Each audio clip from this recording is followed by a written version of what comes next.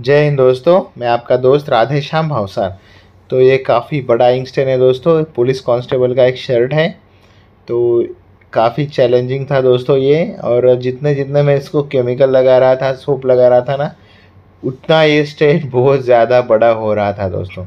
But धीरे धीरे stand of लगाया, सोप लगाया, और धीरे धीरे इसको हमने वॉश करके क्लीन कर दिया दोस्तों।